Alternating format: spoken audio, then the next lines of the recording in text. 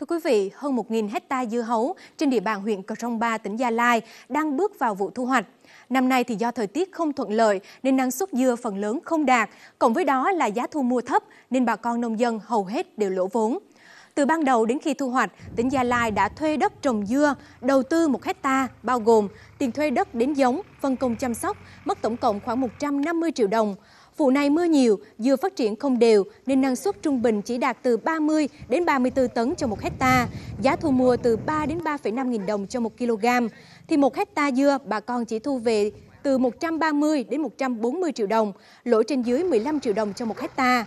Với các thương lái đã đặt cọc mua các ruộng dưa từ ngay đầu, nên giờ dù dưa không đạt được tiêu chuẩn xuất khẩu cũng đành phải chịu để gỡ vốn. Toàn bộ số dưa chủ yếu sẽ được vận chuyển bán trong nội địa. Được biết, tới 90% diện tích dưa hấu tại huyện Cờ Rông Ba được người dân từ các tỉnh miền Trung lên thuê đất để trồng.